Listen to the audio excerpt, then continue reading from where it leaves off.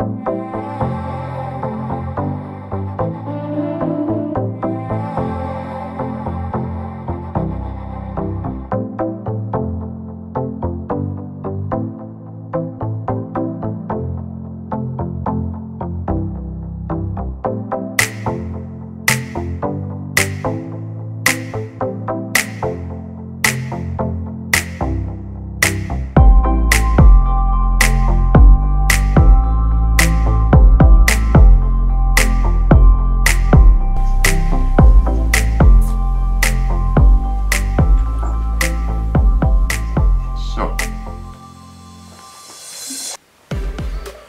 Aufnahmen laufen. Das heißt, wir steigen wieder in unser Thema die Apokalypse ein. Wir sind ja noch gar nicht sehr weit gekommen. Wir waren das letzte Mal bei den sieben Gemeinden, bei den Briefen an die sieben Gemeinden. Es gibt also sieben ganz besondere christliche Gemeinden in Kleinasien, liegen die, also eher im Westen Kleinasiens. Die erste hatten wir das letzte Mal besprochen, die Gemeinde von Ephesus, die eine äh, Mysterienstätte hatte, also mit dem Artemis-Heiligtum in Verbindung stehend, äh, die wirklich sich in sehr große geistige Höhen erhoben hat. Also in, in die, diese ephesischen Mysterien war zum Beispiel auch der Heraklit eingeweiht, als einer der bekannteren Leute. Es waren Mysterien, die mit den Lebenskräften sehr viel zu tun hatten, eben daher auch Artemis, ihr, ihr kennt diese Statue wahrscheinlich mit den vielen Brüsten, die ist, ist relativ bekannt, also als Ausdruck der Lebenskräfte, die sind. Und diese Lebenskräfte, hinter denen steckt ja letztlich der Christus irgendwo. Und man muss ja auch sehen, dass zu dieser Zeit, als Johannes dieses, diese Apokalypse schreibt, dass man da keine Vorurteile gegenüber den alten Mysterien hatte, sondern man sah eigentlich das Christentum als direkte Fortsetzung. Und es war sogar so, dass eben durch das Erdenleben des Christus die alten Mysterien, die vorchristlichen Mysterien, noch einmal einen Aufschwung bekommen haben. Sie waren eigentlich schon ziemlich am, am Absterben und in der Zeit, so in den ersten ein, zwei Jahrhunderten dann nach, nach Christus, ist, ist, blühen sie im Grunde wieder auf und es blühen also viele geistige Strömungen auf, die man dann eben auch als Gnostik bezeichnet, die Gnosis. Äh, mit einer sehr großen Bandbreite, aber dann so spätestens ab dem zweiten Jahrhundert und im dritten dann ganz stark, äh, wird es im Grunde alles ausgerottet von den Christen. Von, de, von den Christen, die, die jetzt dann nämlich äh, Staatskirche werden, also Zeit Konstantins. Äh, aber es beginnt also die Ausrottung der Gnosis schon vorher von, von den ersten Kirchenlehrern. Also das heißt, die Schriften werden verbrannt und man schaut, dass niemand was spricht darüber, äh, weil einfach zu viel Geistiges drinnen ist. Teilweise sicher ein Geistiges, das aus der alten Zeit kommt, das die eigentliche Aufgabe des Christus teilweise nicht verstanden hat die namentlich nicht nachvollziehen konnten, die Kreuzigung des Christus und, und dass er durch den Tod gegangen ist. Da scheiden sich natürlich die Geister, weil wir hatten das letzte Mal auch darüber gesprochen, dass ja im Grunde die ganze geistige Welt, die über uns ist, die geistigen Hierarchien, die über uns sind, gerade dieses Reich des Todes nicht sehen konnten oder jedenfalls nicht hineinsehen konnten. Also das war für sie das, das große Unbekannte. Und, und die ganzen alten Mysterien, äh, ja, waren natürlich, weil wir Menschen als Erste irgendwo damit konfrontiert waren, schon auch so weit, dass sie gewisse kleine Einblicke haben konnten in dieses Reich des Todes, aber dass man es auch sehr gerne vermieden hat, dort hineinzuschauen. Also die Ägypter hatten sehr wohl Erfahrungen damit, die mehr östlich ausgerichteten Mysterien ja, da hat man sich lieber eben mit der geistigen Welt oben beschäftigt und das unten hat man liegen gelassen. Also da wollte man sich noch nicht so, so stark konfrontieren. Ist auch klar, weil der, der, der Osten, die östliche Weisheit zunächst einmal in der alten Zeit, äh, von wo die Kultur, die moderne Kultur, also die Kulturepochen eigentlich herkommen, ausgehend von Indien, ja noch mit den luziferischen Kräften auch sehr stark arbeiten. Und zwar durchaus im positiven Sinn. Äh, man muss überhaupt sehen, also, dass die Widersacher ja eine Aufgabe für die Menschheitsentwicklung und für die Erdentwicklung überhaupt haben. Äh, diese Aufgabe macht uns manchmal große Probleme, den Widersachern im Übrigen auch, aber sie sind ja letztlich dazu da, um für den Menschen die Freiheit zu ermöglichen. Und die Freiheit ist eben nur dann möglich, wenn es ein geistiges Reich, nennen wir es jetzt, also eben dieses Reich der Widersacher gibt, äh, das den höheren Hierarchien, den regelrechten geistigen Hierarchien, wenn man es so sagen will, nicht zugänglich ist. Und zwar wirklich nicht zugänglich ist, bis hinauf. Selbst der Christus hatte keinen Zugang, selbst das höchste Göttliche hatte keinen Zugang. Aus eigenem freien Entschluss haben sie also einen Weltbereich geschaffen und die Widersacher, wie Rudolf Steiner oft sagt, dazu abkommandiert oder dazu bestellt, halt über diese Reiche zu herrschen. Der Luzifer über sein Reich, das noch etwas lichter ist, und der Ariman über das dunkle Reich. Aber der Beschluss war eben, wir, die eigentlichen hohen geistigen Hierarchien, wir halten uns von diesem Reich fern. Wir äh, verzichten darauf, dort hineinschauen zu können. Äh, weil man muss denken, also gerade wenn hohe geistige Wesen dort hineinschauen, dann beginnen sie, wenn dort etwas nicht in Ordnung ist, ganz durch ihre, Aus, durch ihre geistige Ausstrahlung dieses Reich zu verändern, nämlich in Richtung des Guten, wenn man so will, des Lichten, des Hellen. Und gerade das sollte nicht der Fall sein, weil dann wäre die Freiheit nicht möglich, sondern alle, wir Menschen wären alle gut von Natur aus, aber unfrei. Und mit dem Menschen hat man eben mehr vor sozusagen. Und die Frage, die ich dann das letzte Mal gegen Ende zu noch aufgeworfen habe, ja, wie, wie ist denn das überhaupt mit diesem Reich des Todes? Wie hängt das zusammen mit den Schilderungen, die wir auch von Rudolf Steiner kennen, dem Weg, den die, der Mensch also nach dem Tod geht, wo er ja eigentlich durch die geistige Welt durchgeht? Wie hängt das mit diesem unzugänglichen Reich des Todes zusammen? Weil in Wahrheit diese Welt, wo wir durchgehen nach dem Tod, also sagen wir mal den Bereich nach dem Kamaloka, also nach dem Fegefeuer, das ist so die Zeit, die, die etwa 20, 30 Jahre dauert, je nachdem, wie alt wir heute geworden sind im, im Leben. Ungefähr ein Drittel des Erdenlebens dauert das, bis wir durch dieses Kamaloka durchgehen, uns läutern dort drinnen und dann steigen wir aber im, im Grunde stufenweise in höhere geistige Sphären auf so wie es etwa auch Dante dann schildert in seiner göttlichen Komödie, also dieser Aufstieg auf den Läuterungsberg. Das geht, geht durch, dann kommt man also bis zum sogenannten irdischen Paradies.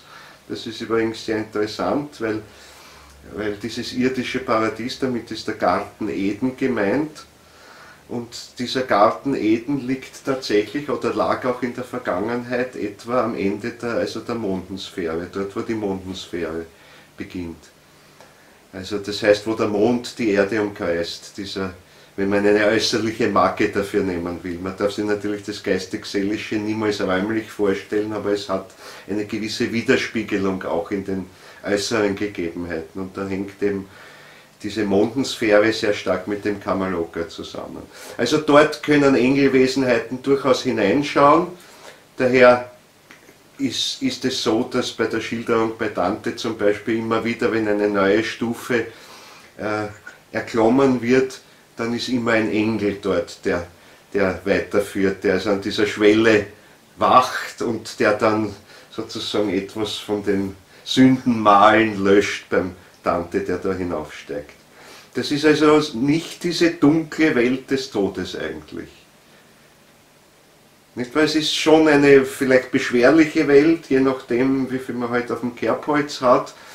Äh, beschwerlich sind auch vor allem Dinge, die einem im Leben gar nicht so beschwerlich vorkommen, halt wenn man irgendwelchen irdischen Genüssen im Übermaß anhängt und sie nur nur des Genusses willen halt äh, macht und nicht eine geistige Lehre daraus zieht, das muss man sich abgewöhnen, wenn man also das bezüglich Essen, Trinken und so weiter hatte, das ist oft sehr schwer abzugewöhnen drüben.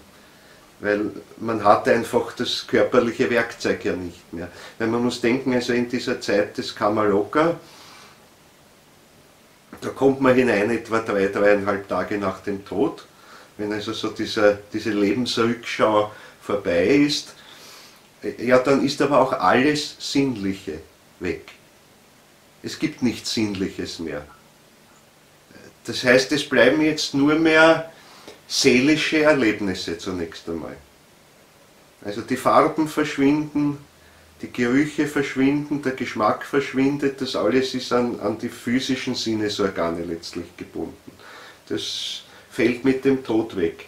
Also in den dreieinhalb Tagen das Lebenspanorama, das hat noch sehr viel sinnesartigen Charakter. Der Gang durch, durch das Kamaloka, durch diese Reinigungszeit ist ganz anders.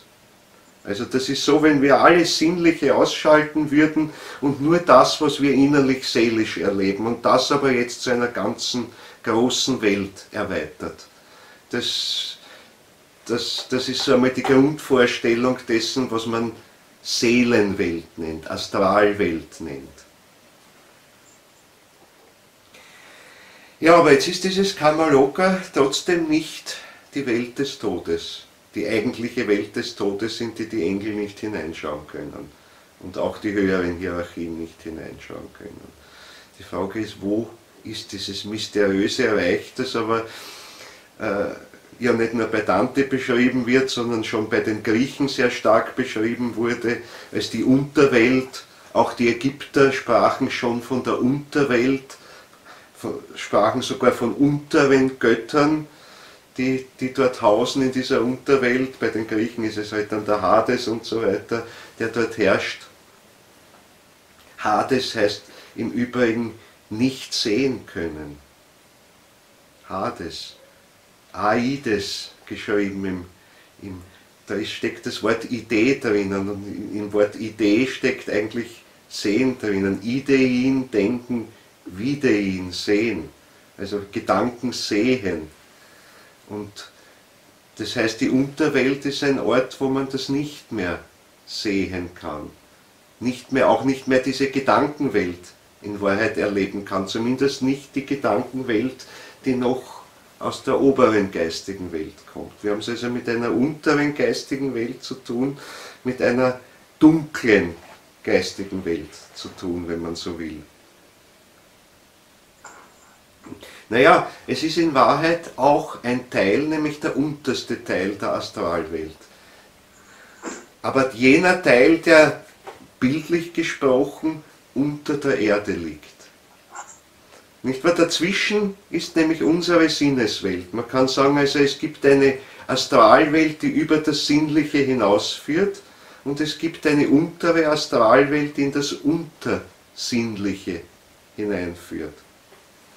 Also auch die Schilderungen, nämlich die jetzt in dieser unteren Astralwelt gegeben werden und die zwangsläufig nur in sinnlichen Bildern geschildert werden kann, auch dort erlebt man in Wahrheit nicht sinnlich. Also auch diese ganzen Schilderungen der Hölle, diese ganzen drastischen Bilder sind eine Übersetzung in ein sinnliches Bild. Aber es ist in Wahrheit ein halt sehr beklemmendes seelisches Erlebnis. Ein seelisches Erlebnis, wo man spürt, ich bin jetzt in einer Welt, in der nirgendwo das geistige Licht leuchtet. Weil selbst im Kamaloka, da scheint ein Licht herein. Und selbst wenn es nur luziferisches teilweise ist, aber es scheint ein geistiges Licht herein. In diese untere Astralwelt scheint kein geistiges Licht herein. Das, das ist das Problem. Und daher können dort auch die Engelwesenheiten, die ganzen Hierarchien nicht hineinschauen. Und das Erleben der Menschen war eben so, dass tatsächlich spätestens in der griechischen Zeit man fast nur mehr dieses Reich gesehen hat und die, die höhere Astralwelt, die lichtere Astralwelt konnte man nicht mehr sehen. Vielleicht ein bisschen noch vom Kamaloka, das man bewusst erlebte, aber vor allem erlebte man etwas von dieser unteren Welt. Die Frage ist, wann man es erlebte. Also die Schilderung geht ja dahin, dass der Mensch nach dem Tod in dieses Reich hineingeht. Aber eigentlich ist die Geschichte ein bisschen anders dieses starke Erleben der unteren Astralwelt passiert nämlich gar nicht nach dem Tod gleich. Weil, wie geht der Weg? Also wir haben diese drei, dreieinhalb Tage der Rückerinnerung, dann löst sich unser Lebensleib auf, also die Lebenskräfte, in denen, die, in, mit denen dieses Bild dann verweht sozusagen in der Ätherwelt oder der Ätherwelt eingeschrieben wird. Dann gehen wir in das Kamaloka hinein, also in diese untere, naja, untere ist falsch, aber in diese niedere astralische Sphäre. Aber immer noch eine überirdische, es ist eine übersinnliche noch. Und von dieser übersinnlichen Astralsphäre, also die mit der Mondensphäre zusammenhängt, steigen wir dann weiter durch die Merkursphäre, durch die Venussphäre bis zur Sonnensphäre. Das ist alles noch Bereich der oberen Astralwelt. Also auch die Sonnensphäre hängt eigentlich mit dem Astralischen zusammen. Äh, werden das dann bei der zweiten Gemeinde in Kleinasien im Übrigen auch sehen, dass das dort auch eine Rolle spielt, gerade diese astralische Sonnensphäre. Das ist die höchste Astralsphäre, der höchste Astralbereich, könnte man sagen. Und dann geht es erst in die eigentliche geistige Welt im engeren Sinn hinein. Also das, was der Steiner manchmal auch genannt hat, das niedere Devachan und dann das höhere Devachan. Es gibt also eine untere und eine obere geistige Welt. Das will ich aber jetzt nicht im Detail ausführen, weil das führt uns zu weit weg. Und dann kommt eine Weltenmitternachtsstunde. Das ist also die Zeit, wo man beginnt, wieder herunterzusteigen und den Entschluss eben gefasst hat, in eine neue Inkarnation, in ein, ein neues Erdenleben herabzusteigen. Und jetzt geht also ein langer Abstieg wieder durch die Planetensphären, bildlich gesprochen zumindest, also konkret gesprochen heißt ich habe zu tun mit den ganzen geistigen Wesenheiten, die mit diesen Planetensphären zu tun haben. Ich habe zu tun natürlich auch mit den anderen Menschen, die sich gerade in diesem Bereich bewegen. Und dann komme ich immer näher, ich komme in die Mondensphäre wieder herunter, dann wird es also Zeit, äh, sich zu kümmern, wirklich einen ganz konkreten Leib zu finden. Es wird schon vorher vorbereitet natürlich, aber dann, dann äh, wird es immer konkreter. Und man muss sich ja nicht nur einen physischen Leib zubereiten, der ja durch die Vererbungslinie kommt, der bereitgestellt wird und man muss halt einen auswählen, also den hat man schon gesucht. Aber jetzt muss sich dazu bilden ein Ätherleib, ein Astralleib und dann kann sich das Ich erst inkarnieren. Ja, und jetzt gerade bei der Bildung des Astralleibes gibt es einen springenden Punkt. Ich habe nämlich die ganze Geschichte vom Weg durch den Tod, also wie wir da durch die geistige Welt gehen, habe ich eines noch ausgelassen. Wenn wir durchs Kamaloka durchgehen, also durch die Mondensphäre, den ersten Bereich der Läuterung, dann können wir einiges läutern dort, das dann rein genug ist, um in höheren Sphären mitgenommen werden zu können. Es gibt aber ganz gewaltige Brocken, die wir nicht mitnehmen können, die in unserem Astralleib sind. Das sind nämlich die Sachen, in denen unser Karma drinnen steckt. Karma wird letztlich alles das, also was dann in die nächste Inkarnation hineinwirkt, was wir nicht über diese, über diese Kamaloka-Sphäre hinaus mitnehmen können, sondern was wir im Grunde schon im untersten Bereich dieser Kamaloka-Sphäre zurücklassen müssen. Und genau diese karmischen Kräfte, wenn man so will, Also diese astralischen Kräfte, äh, die sammeln sich jetzt sehr stark in dieser unteren, unteren Astralwelt, die also im untersinnlichen Bereich, im unterirdischen Bereich liegt. Das heißt, das, was in dieser sogenannten Hölle oder Unterwelt drinnen steckt, das sind wirklich unsere karmischen Verfehlungen, die wir nicht im Kamaloka abtun können, die wir dort nicht ausgleichen können. Die sammeln sich dort unten. Und äh, man, man, könnte sagen, dort warten unsere Kammerbäckchen auf uns. Die müssen wir uns nämlich dann, wenn wir jetzt bei einer, zu einer neuen Geburt heruntersteigen und uns unseren neuen Astralleib bilden, müssen wir diese Kammerpäckchen wieder aufsammeln. Und das ist natürlich mit sehr starken Erlebnissen verbunden. Also ganz besonders stark ist das auch in der Zeit, in der dann schon wirklich die Zeugung und die Befruchtung stattfindet, weil da, da ziehen sich also die wichtigsten äh, Dinge zusammen. Und da gehen wir alle in Wahrheit durch diese Unterwelt durch. Das heißt gar nicht nach dem Tod, sondern unmittelbar vor der Geburt oder in der ersten Phase Phase der, der Entwicklung, wenn wir aber schon physisch verankert sind. Da gehen wir durch. Und dann begleitet uns in Wahrheit diese dunkle Welt das ganze Leben, die Hölle nämlich, nur sie ist unter der Schwelle unseres Bewusstseins, zumindest meistens. Äh, manchmal kann es durchbrechen, dann kann das sehr, sehr gefährlich werden, wenn, wenn man nicht darauf vorbereitet ist.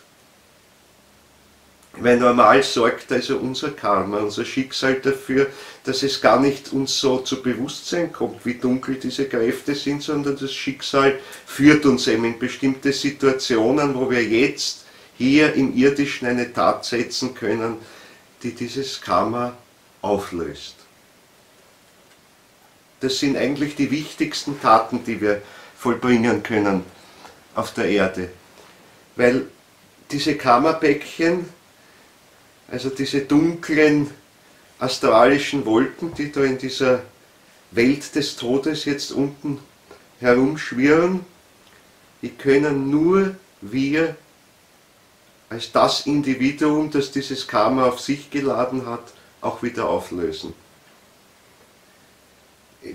Diese Taten, die wir damals begangen haben und wodurch wir uns dieses Karma aufgeladen haben, haben natürlich auch weit in der Welt draußen gewirkt das können wir eh alles nicht mehr so, so einfach gut machen, aber dieses Päckchen, das wir mittragen, das können wir auch nur selber auflösen. Und diese Aufgabe haben wir während des Erdenlebens. Und das heißt, unsere Aufgabe ist sozusagen während des Erdenlebens ein kleines Stückchen dieser finsteren Welt des Todes aufzulösen. Weil sie besteht im Grunde zum größten Teil aus diesen, aus diesen Dingen, aus diesem dunklen Karma, das wir mit uns schleppen. Und diese, diese Kräfte werden natürlich äh, sehr stark auch benutzt und, und verwaltet, wenn man so will, vom Herrn Ariman. Der spielt da eine sehr große Rolle. Also weil es ist sein Reich, wo diese Kräfte drinnen liegen. Das wollte ich nur so äh, als Einleitung für den heutigen Vortrag sagen, damit wir wissen, was ist dieses Reich des Todes, dieses Reich des Ariman ganz, ganz konkret. Und äh, damit wir es ein bisschen auseinanderhalten können eben von dem Weg, den wir unmittelbar nach dem Tod gehen. Also es ist eigentlich paradoxerweise diese, diese dunkle Welt, die, die wir kurz vor der Geburt erleben, relativ kurz vor der Geburt. Und an die erinnern wir uns auch. Ihr wisst vielleicht oder könnt euch erinnern, äh, Platon hat immer davon gesprochen, überhaupt unser Denken, unser Bewusstsein und so ist eine Art Wiedererinnern an das, was vor der Geburt war. Ja, ja, das ist schon richtig. Da, da sind aber eben auch genau diese dunklen Dinge auch drinnen. Aber solange wir nicht reif sind, geistig stark genug sind, diesen Dingen voll und ganz ins Auge zu schauen, so bleiben sie mehr im Unterbewussten. Aber man muss wissen, wenn man namentlich als heutiger moderner Mensch meinen geistigen Weg geht, sich mit geistigen Dingen beschäftigt, damit fängt es schon an. Also schon einfach, wenn man anthroposophische Bücher angenommen liest, ernsthaft liest, fängt ja der geistige Weg an und wenn man dann vielleicht noch geistige Übungen macht, dann verstärkt sich das, dann muss man damit rechnen, vielleicht nicht schon in dieser Inkarnation, aber spätestens in der nächsten, dass man sehr stark mit diesen dunklen Kräften bewusst konfrontiert wird. Nämlich dann, wenn die eigene geistige Kraft stark genug ist, um bewusst jetzt diese dunklen Kammerbäckchen aufzulösen. Denn was sind diese Kammerbäckchen? Die sind von ihrer Substanz her etwas seelisch-astralisches. Eben etwas seelisch-astralisches, das durch uns verdorben wurde. Wenn wir das bewusst auflösen können, wenn wir seelisch-astralisches bewusst auflösen können, was entwickeln wir dann? Dann entwickeln wir Geist selbst. Geist selbst ist nämlich der verwandelte Astralleib oder der teilweise verwandelte Astralleib. Und das Wichtigste, was wir verwandeln müssen, ist eben unser Karma. Das müssen wir auflösen, das ist das Erste. Und in dem Maße, in dem wir es auflösen, erwerben wir uns Geist selbst. Und wenn jemand sein gesamtes Karma aufgelöst hat, dann hat er vollkommen sein Geist selbst entwickelt. Und dann ist eine Stufe höher gestiegen, dann ab dem Zeitpunkt müsste er nicht mehr zu einer irdischen Inkarnation heruntersteigen, weil es gibt kein Karma mehr aufzulösen. Und dass er es so weit gebracht hat, das Geist selbst voll auf, also zu entwickeln, äh, zeigt auch, dass sein Ich bereits so stark ist, dass er auch dafür nicht mehr die irdische Inkarnation braucht. Das heißt, er steigt im Grunde auf jetzt zu einem Wesen, es gibt erst sehr wenige, die so weit sind auf, auf Erden, aber die die Stufe eines Buddha erlangt haben. Nicht wahr? Buddha konnte mit Recht sagen, dies ist meine letzte irdische Inkarnation, weil er hat es geschafft, seinen kompletten, seinen kompletten Astralleib in Geist selbst umzuwandeln. Und, und das steckt ja auch eben hinter der buddhistischen Lehre eben irgendwo dahinter, diese Anweisung im Grunde, wie arbeite ich mein ganzes Karma auf, wie verhindere ich, dass ich Neues erzeuge. Äh, das heißt, wie, wie verhindere ich, dass dunkle Astralkräfte da hinuntersinken in dieses Reich des Todes. Also, damit ist unausgesprochen, aber immer auch gleich äh, gesagt, dass ja damit auch langsam dieses Reich des Todes überhaupt aufgelöst wird. Weil da geht es ja nicht nur um mein Karma, sondern je mehr Menschen daran arbeiten, desto mehr verschwindet überhaupt diese untere Astralwelt, diese Welt des Todes. Und äh, es ist ja so, äh, der Buddha, von dem man als dem Buddha spricht, also der historische Buddha, der so etwa im 6. Jahrhundert vor Christus lebte, war ja nicht der erste und einzige Buddha. Es gab welche, die ihm vorausgegangen sind und es gibt welche, die ihm nachfolgen werden. Also es sind schon andere Menschen auf diese Stufe unter anderen Bedingungen aber aufgestiegen. Aber das besonders diese Lehre des historischen Buddha in der Art, wie sie damals gegeben wurde, ist ganz typisch für die bereits in Wahrheit griechisch-lateinische Zeit.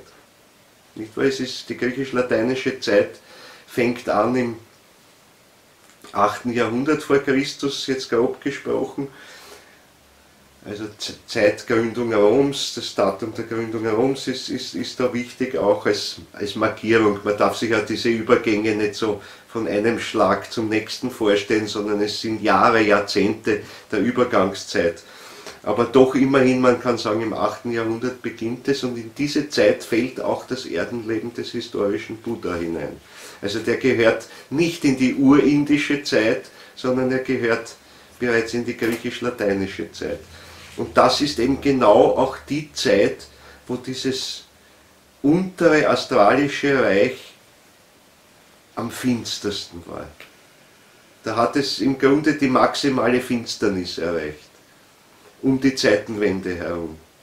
Und da konnte wirklich nur ein starker Impuls eben dadurch geschehen, dass ein geistiges Wesen, das sonst nie durch den Tod geht, weil die geistigen Hierarchien über uns gehen eben nicht durch den Tod, nur durch Verwandlungszustände, dass dieses geistige Wesen, eben der Christus, beschlossen hat, durch den Tod zu gehen, in dieses dunkle Reich hineinzusteigen und dadurch eben einen ganz starken Impuls dafür zu geben, dass die Menschen dieses dunkle Reich langsam auflösen können.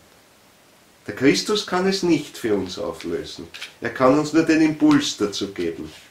Und er kann uns also eine gewisse Kraft dazu verleihen. Aber tun müssen wir es selber. Einfach schon aus dem Grund, weil jeder sein eigenes Karma nur selbst auflösen kann. Man kann einem anderen Menschen helfen und unterstützen dabei, dass er selbst sein eigenes Karma auflöst. Aber ich kann es ihm nicht in dem Sinn abnehmen, dass ich sage, ja du bist zu schwach dazu, ich mag's für dich. Das geht nicht. Die, die eigentliche Kernaufgabe muss ich immer selbst übernehmen.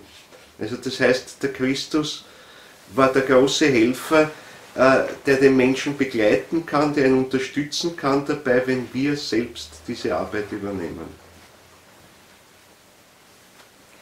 Und, und das alles spitzt sich also zusammen zur Zeitenwende. Und jetzt ist, ist halt die große Frage, gelingt es, dieses dunkle Reich aufzulösen? Das ist unsere heutige Aufgabe nach wie vor, wir sind noch lange nicht fertig. Oder gelingt es nicht, ja wird es vielleicht sogar noch dunkler. Obwohl es eigentlich schon am dunkelsten möglichen war, aber es kann eigentlich noch schwärzer als schwarz werden. Also es kann auch da noch tiefer hineinfallen dann würde sich tatsächlich eine arimanische, eine eigene arimanische Welt selbstständig machen und Menschen mit hineinziehen dort. Wir werden dann sehen, dass, dass solche Dinge ja in der Apokalypse sehr deutlich geschildert werden. Das wird dann letztlich die letzte große Scheidung der Geister sein, dass Menschen mitgehen vielleicht mit diesem dunklen Reich, in das das geistige Licht überhaupt nicht mehr fallen kann. Aber eine große Entscheidung ist da eben zur Zeitenwende gefallen. Und, und bitte. Ah, das war nur ein Echo. Da. Ja, ich habe ja schon versucht. Ach so, ja gut, dann passt. Ja, ja, bitte. Ah, meine Frage, Herr, wieso der Moses geharrt hat und all die Großen? Naja, der, der Punkt ist, ähm, auch sie waren noch nicht so weit zunächst einmal, dass sie dass sie ihr Karma, das sie eben auch hatten, vollkommen aufgelöst haben. Und daher blieben also auch gewisse karmische Pakete in dieser dunklen Welt drinnen. Aber sie waren so weit zur Zeitenwende, also schon durch eigene Arbeit, dass also durch die Unterstützung, dass der Christus jetzt hineinkam in dieses, in dieses Reich und, und so wie ein Blitz es einmal erleuchtet hat, dass das ihnen die Kraft gegeben hat, letztlich äh, den letzten Rest ihres Karmas zu überwinden und aus dem herauszukommen. Und, und das betrifft also viele große Eingeweihte, namentlich auch halt die Propheten, das, das, die im Alten Testament geschildert werden. Die Bibel konzentriert sich natürlich mehr auf diesen hebräischen Weg sozusagen, aber es gab auch in anderen Weltbereichen in Wahrheit äh, Menschen, die erlöst wurden. Das, äh, der Dante in, in seiner göttlichen Komödie kennt das natürlich noch nicht ganz so und glaubt, dass wirklich nur die, die, äh, die durch den Christus direkt erlöst wurden, also in nachchristlicher Zeit erlöst wurden, dass nur die dann eine Chance haben hinauszukommen. Und äh, das heißt, wer nicht getauft ist sozusagen, äh, kann nicht hinein. Äh, so ist es nicht, weil ja viele vorchristliche Eingeweihte ja in Wahrheit auch Eingeweihte waren, die das Kommen des Christus vorbereitet haben. Das, das, das bitte, gerne. Das, das ist nur halt in, in der Kirchenlehre, dann ist das später alles sehr, sehr schief, sage ich mal vorsichtig rübergekommen und verdreht worden bis zu einem gewissen Grad. Also das hat damit ni- nichts Noch zu eine Frage, Wolfgang. Bitte, ja? Vielen Dank. Äh, unglaublich äh, stark dein Einstieg. Genieß das sehr. Äh, meine Frage ist, Ja. was ist mit diesen 40 Tagen nach dem Schwellenübertritt? Das ist ja die Zeit, die man auch als Christi Himmelfahrt Ja, zeigt. richtig. Und das hast du jetzt ausgeklammert eigentlich. Und das interessiert mich, weil das zum Beispiel ist ein Datum, wo früher die Seelenmessen gehalten wurden und Abs- das ist ein Datum auch, Absolut. auch eine spirituelle Erfüllung beinhaltet und. Ne? Ja, ja, absolut. Sozusagen, äh, wo siehst du diesen Zusammenhang? Also diese Christi Himmelfahrt sozusagen, ist, hat, hat das mit dem Es, Totenreich dann auch zu tun? Es- oder ist das dann eben die Überwindung dieses Totenreichs? es, es ist die Überwindung. Es ist die Überwindung. Es ist die Überwindung dieses, dieses Totenreiches. Äh, diese 40 Tage, das, das gab es ja also als Zeitraum auch schon vorher in vorchristlicher Zeit. Also es, es gibt, gibt da Fakire oder was das, oder gab es zumindest, die sie 40 Tage begraben haben lassen, unterirdisch wirklich und, und auch in einem fast toten Zustand dort, dort ausgeharrt haben, diese 40 Tage. Und, und das ist tatsächlich also ein, eine, eine, eine, ein, ein Weg, der aus dem dunkelsten Bereich zumindest herausführt. Also, äh, und, und da sind aber die Erlebnisse drinnen in diesen 40 Tagen gerade ganz stark dann äh, äh, von dem Reich des Todes auch. Aber das muss man bewu sehr bewusst anstreben. Das heißt, normalerweise, wenn, wenn, wenn Menschen heute durch den Tod gehen, streifen sie das beim, nach dem Tod nur sehr kurz an eigentlich. Und sie erleben das in der Regel nicht sehr bewusst. Also gerade diese 40 Tage.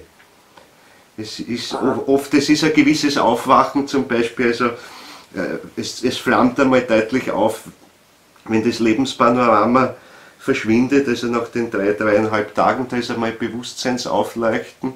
Es ist aber dann, und, und wenn das Begräbnis dann nach der Zeit äh, oder in, in, innerhalb dieses Zeitraums irgendwo passiert, äh, ist es sehr gut. Aber es ist dann so, dass ja eigentlich dieser unterste Bereich der, der Seelenwelt, also der, der Unter, die, das heißt dieses Reich der unteren Seelenwelt, das geht man auf jeden Fall durch. Also das entspricht in etwa diesen 40 Tagen. Ja, aber du hast gesagt, das geht man ja bei der neuen Inkarnation jetzt. Ja, genau. das ist, ist richtig. Und jetzt, jetzt sage ich es noch etwas genauer. Man geht nämlich in der Regel zwar nach dem Tod schon durch, aber um, ganz unbewusst. Das heißt, man, man schläft sozusagen, man verschläft diese Zeit. Während man sie dann, wenn man zur neuen Geburt hereinkommt, sehr bewusst erlebt. Das ist der Unterschied. Aber bei Eingeweihten zum Beispiel, die gehen dann bewusst, aber auch nach dem Tod oder auch bei ihrem Einweihungsweg, gerade auch durch dieses dunkle Reich durch. Und, und dann, besteht dann ist die Möglichkeit, erst wirklich, äh, ich möchte sagen, rechtmäßig aufzusteigen in die höhere geistige Welt, also das heißt die Himmelfahrt letztlich anzutreten oder zu Ja. beginnen. Also dieses Recht muss man sich in gewisser Weise als Eingeweihter erst erwerben. Und, und das wurde auch immer drängender, mal schon gegen die ägyptische Zeit, so da ist es schon deutliche Auseinandersetzung, und dann in der griechisch-lateinischen Zeit erst recht. Also dort ist es eben da, daher ganz stark immer das Thema Durchgang durch die Unterwelt. Und, und das heißt, die Eingeweihten gehen bei der Einweihung oder gleich nach dem Tod bewusst dort durch, die Mehrzahl der Menschen, wenn sie hereinkommen in die Inkarnation. Ist das so? Hilft das ein bisschen? Ja, ja, hilft ja. ja, ja. Darf ich, äh, Bitte. darf ich auch eine Frage Ja, stellen? gerne, selbstverständlich. Äh, und wenn äh, die Leute für die Verstorbenen Ja, äh, bei diesem 40. Äh, Todestag quasi ja, äh, irgendwie unterstützen, geht das, dass das der halbwegs bewusst durchgeht? ja. Diese, doch, Ja, ja, Ja, ich meine, es, es hängt natürlich immer vom individuellen Fall ab, aber es ist auf jeden Fall hilfreich, also gerade nach diesen 40 Tagen auf die zu achten auch irgendwo. Weil äh, das ist immer die Chance, dass das Bewusstsein also stärk, viel, viel stärker aufwacht, während es jetzt diese 40 Tage äh, dämmerhafter war. Oder zumindest eben gerade diese, diese unteren Bereiche nicht gesehen hat. Aber es ist individuell, es ist sehr individuell natürlich.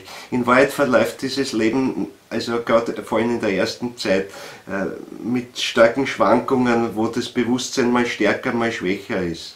Und es ist auch noch nicht so ganz rhythmisch. Es wird später rhythmischer, also fast wie Schlafen und Wachen, wenn man es jetzt mit dem Irdischen vergleichen wollte. Also wo das Bewusstsein nämlich dann mehr auf die eigene Welt bezogen ist und dann mehr sich verbindet wieder mit der seelisch-geistigen Umwelt. Das ist ein gewisser Rhythmus, der sich dann später herausbildet. Aber in, in, in, in der ersten Zeit nach dem Tod ist dieser Rhythmus noch kein wirklicher Rhythmus, sondern es schwankt sehr stark und es gibt da sehr, sehr starke individuelle Unterschiede. Also vor allem Menschen, die sehr im Materialismus stecken im, oder gesteckt haben im Erdenleben, tun sich gerade in dieser Anfangsphase unheimlich schwer, weil sie sind dann eigentlich fast ganz nur auf sich konzentriert, das heißt im Grunde auf ihr Ego, aber auch davon erleben sie nur äh, Fadenscheiniges, weil sie sind auch nicht stark genug, dass sie jetzt wirklich diese, diese Karma-Päckchen sozusagen in ihrer vollen Tiefe anschauen können. Aber sie merken nur, alles, was ich bis jetzt für mein Ich gehalten habe, äh, ist nicht ganz so schön, wie ich mir es erhofft habe. Und, und sie haben dann vor allem, also im, im Extremfall zumindest, sehr wenig Kontakt bis gar keinen zu den geistigen Wesenheiten, die um sie sind. Also das heißt, die Toten, die vor ihnen hinübergegangen sind, mit denen sie eigentlich verbunden sind, aber sie kommen nicht hin. Und das ist ein Zustand, der, der dann schon erlebt wird als, als, wie soll man sagen, finster und eisig. Eisig deswegen, weil man keine Seelenwärme rundherum spürt. Man weiß, da ist so viel Seelisches, da sind Wesen um mich. Aber ich komme nicht heran. Ich kann nicht mit ihnen in Verbindung treten. Also das kann, kann passieren. Aber es ist daher auch so, wie soll man sagen, aber so ein gewisses äh, Mittel, um überhaupt das Bewusstsein zu dämpfen, eben in dieser Zeit, weil das sehr, sehr schlimme Erlebnisse sein können. Also es wird schon einmal so sein, dass, dass äh, beim Durchgang durch den Tod man dieses Reich auch sehr stark und sehr bewusst erlebt. Also es, es, es hat schon einen Sinn, warum man es heute normalerweise noch nicht so stark nach dem Tod erlebt, sondern erst vor der Geburt, weil wenn wir durch die ganze geistige Welt durchgegangen sind, nehmen wir eine ganze Menge geistige Kräfte mit zu dieser Geburt herunter, die uns stärken, um jetzt bewusst dieser Sache ins Auge zu schauen. Weil wir sind es, wir haben jetzt gelernt, wir sind es, ja, wir wollen da hinunter. Und wir wollen eigentlich nur aus einem einzigen Grund herunter, wir müssen diese dunklen Flecken auflösen. Das heißt, da kommt der ganz starke Impuls, ich will das sehen, ich muss das sehen. Und, und ich muss mir meine Aufgabe suchen. Und, äh, aber es wird in der Zukunft sicher so kommen, dass wir es auch, also zumindest die Menschen, die geistige Bewusstsein bereits stärker entwickelt haben, dass die auch nach dem Tod dieses dunkle Reich erleben und sehen, aha, da liegt meine Aufgabe für die nächste Inkarnation. Ansonsten wird es halt erst so nach und nach schrittweise äh, gelüftet, dieses Geheimnis, dass man sich halt vorbereitet. Wir müssen ja jetzt, wenn wir durchgehen durch die geistige Welt nach dem Tod, müssen wir ja vorbereiten, die Schritte, die wir unternehmen müssen, um das aufzulösen.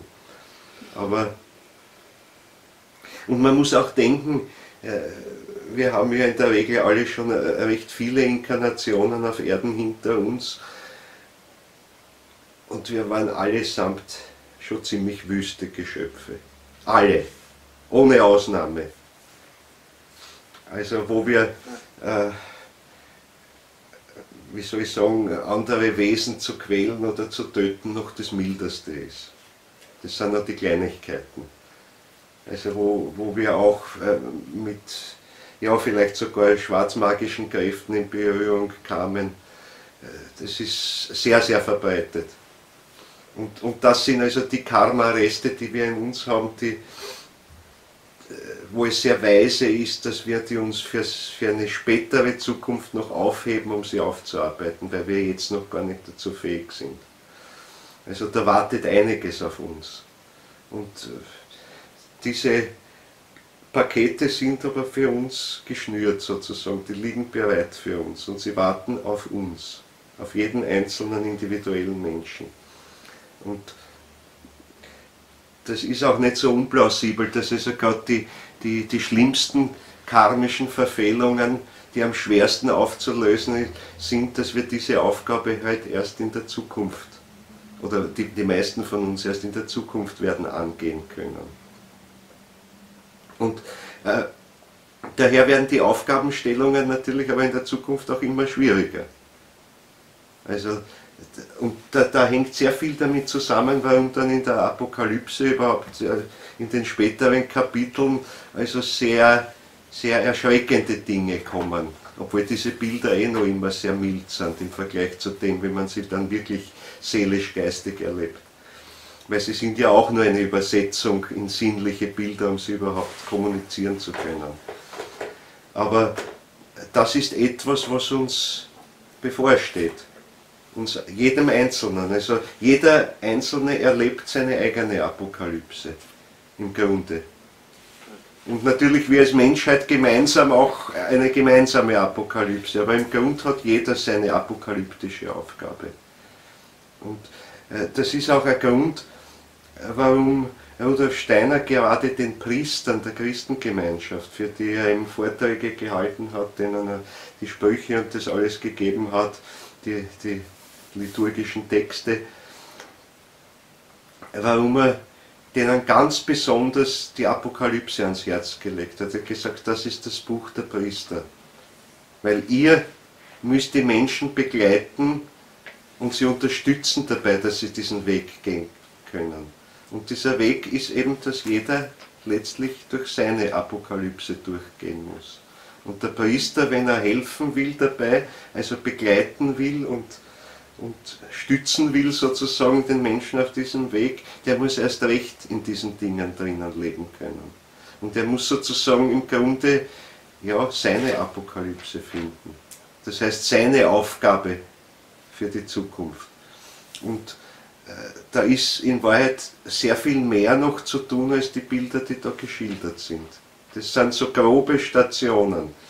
Äh, ihr, ihr kennt ja auch den, den, den Anfang der Apokalypse, wo es dann immer so, so schön heißt, also äh, dies ist die Wesensenthüllung Jesu Christi, die der Vater Gott gegeben hat, um denen, die ihm dienen wollen, zu zeigen, was in der Zukunft geschehen soll. Oder oft wird es fast besser, ausnahmsweise, wenn man sie sagen, übersetzt, was in Kürze geschehen soll. Nur dieses in Kürze heißt nicht, morgen oder übermorgen. Auch nicht in zehn Jahren. Es ist überhaupt keine, keine Zeitangabe damit gemeint, sondern es ist in Wahrheit gemeint, und das ist ein sehr treffender äh, Hinweis von Rudolf Steiner, es ist gemeint, es wird ganz kurz und knapp geschildert, was zu tun ist und was geschehen wird. Und die eigentliche Aufgabe füllt Bibliotheken sozusagen, wenn man das niederschreiben wollte. Aber jeder muss seine eigene Bibliothek schreiben. Das sind nur ein paar Orientierungspunkte. Das heißt in Kürze. Also ein knapper Auszug, ein, ein, eine, Art, eine Art Landkarte, welche wichtigen Punkte abzuarbeiten sind und denen jeder in der einen oder anderen Weise begegnen wird. Aber dazwischen sind viele, viele Zwischenstationen, von denen hier nicht gesprochen wird, weil sie sehr individuell auch sind und weil man sie gar nicht schildern kann. Also das, das wäre viel zu schwierig, das, das in, in sinnliche Bilder zu übersetzen. Also man muss immer denken, die eigentliche geistige Wahrnehmung, die Imagination lässt sich nicht sinnlich erleben. Die Imagination ist eben ein übersinnliches Erlebnis. Und, und jede sinnliche Beschreibung ist immer eine Übersetzung und damit immer eine Verkürzung. Also wer schon ein bisschen einmal an ein imaginatives Erleben herangestreift ist, weiß, wie viel reicher das ist, als was man bei noch so viel Fleiß darüber niederschreiben kann. Das ist von, von weiß ich nicht, 100 Gedankenbildern, ich sage es einmal jetzt vorsichtig, Gedankenbildern, nennen wir es einmal so, die, die durch den Geist fluten, davon kann ich vielleicht einen Satz festhalten. Und dann, weil, weil wenn die 100 Gedankenbilder oder die 100 Sätze sozusagen äh, vorbei sind, sind schon wieder die nächsten 100 da. Also da komme ich gar nicht nach und sie sind ja sofort wieder weg. Ich kann zwar wieder in, in, in der Meditation zurückgehen, aber im Grund sie kommen und verschwinden schon wieder, und kommen und verschwinden. Aber es ist eine Fülle, von der ich nur einen winzigen Auszug hereinholen kann. Und das ist in Wahrheit gemeint mit dem, was in Kürze geschieht. Es ist in Kürze geschildert, was geschieht. Das ist das Eigentliche.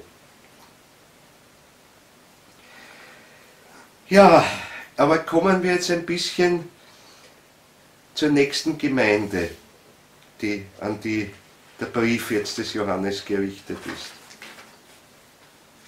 Die erste Gemeinde war also die von Ephesus, die noch ganz im Geistigen lebt, eine Art Wiederholung der urindischen Zeit. Also es spiegelt sich zumindest wieder gerade in diesen Mysterien von Ephesus, auch wenn dort halt keine Inder drinnen gesessen sind, aber das macht nichts. Also von der geistigen äh, Strömung her ist es sehr verwandt mit dem. Also etwas, was noch ganz in den geistigen Höhen lebt. Äh, in der zweiten Kulturepoche, spreche ich von der Kulturepoche, die der zweiten Gemeinde aber entspricht, der Gemeinde von Smyrna. Dort kommt schon sehr stark die Auseinandersetzung mit der unteren Welt, mit der Welt Arimans. Also, ihr werdet euch erinnern daran, das ist die Zeit des großen Eingeweihten Zarathustra,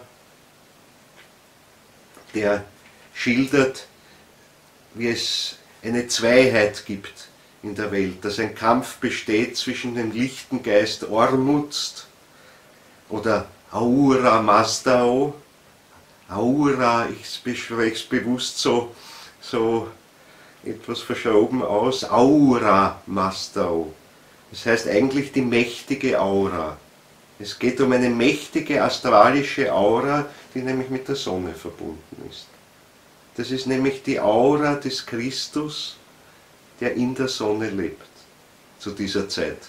Noch nicht heruntergestiegen ist auf die Erde, sondern lebt in der Sonne. Er ist natürlich in Wahrheit ein noch viel höheres Wesen als ein Sonnenwesen. Aber er hat ja bei der Schöpfung, nämlich der Schöpfung, wie sie in der Bibel geschrieben wird, ja durch die Gemeinschaft der sieben Elohim gewirkt. Die sind ja die eigentlichen Schöpfergeister, aber sie sind es dadurch, dass der Christus durch ihre Gemeinschaft hindurchwirkt. Eben diese mächtige Sonnenaura. So hat es der Zarathustra eben auch erlebt. Er hat diese Sonnenaura, das heißt diese Astralaura der Sonne sehen können. Aber sehen ist halt wieder ein imaginatives Sehen und nicht ein sinnliches Sehen. Aber da hat er diese mächtige Strahlkraft des Christus gespürt. Und er sah aber auch die Erde, auf der wir stehen, die jetzt im Grunde erstmals so richtig deutlicher für den sinnlichen Blick hervorkommt. Das muss man nämlich auch wissen. In, in der urindischen Zeit hatten die Menschen noch wenig Bewusstsein und wenig Verständnis für die äußere sinnliche Welt. Und das heißt auch, dass sie sie nicht so erlebt haben, wie wir sie heute erlebt haben. Also so wie wir heute erleben, ich bin da und da ist eine Welt von Bäumen, Tieren, anderen Menschen, Steinen, mir gegenüber, so hätte ein Inder nicht erleben können. Also das Erleben ist ist noch am ehesten vergleichbar mit dem, wie ein kleines Kind ist, so in den ersten sieben Lebensjahren maximal. Aber wenn es so gegen das siebte Lebensjahr zugeht, ist es schon eine sehr, sehr reife Entwicklung. Also mit unseren heutigen Kindern sind da schon viel mehr in der, in der äußeren Welt drinnen, als, als es damals diese Urinder waren. Also die, die reinste Zeit ist sogar die äh, der ersten drei Lebensjahre, darüber haben wir das letzte Mal ja auch gesprochen, wo das Kind noch nicht zu sich Ich sagt. Ja, der, Ägypt, äh, der alte Inder hat eigentlich eben auch noch nicht Ich zu sich gesagt. So wirklich. Er hat sich nicht so empfunden. Er hat sich empfunden als Teil seines Stammes, seines Volkes, mit dem er verbunden war. Und vor allem verbunden mit den geistigen Wesen, die über ihm waren, die er teilweise noch sehen konnte. Manche mehr, manche weniger. Die, die Führer der, der urindischen Zeit, die die sieben heiligen Rishis, die eigentlich ganz schlichte Menschen waren, nicht Gelehrte in irgendeiner Weise. Aber wenn sie gemeinsam versammelt waren, konnten sie das geistige Licht hereinholen und fast wie in Trance das jetzt aussprechen, was da hereinkommt und in mächtigen Bildern aus, äh, ausfertigen sozusagen, übersetzen in mächtige Bilder. Äh, Bilder, die dann nachwirken natürlich in der indischen Mythologie, obwohl das alles erst natürlich viel später niedergeschrieben wurde. Und nur mehr müder Abglanz dessen ist, was man damals erlebte. Aber wenn man ein bisschen so die indische Mythologie kennt, dann weiß man, das sind sehr reiche, sehr bunte Bilder.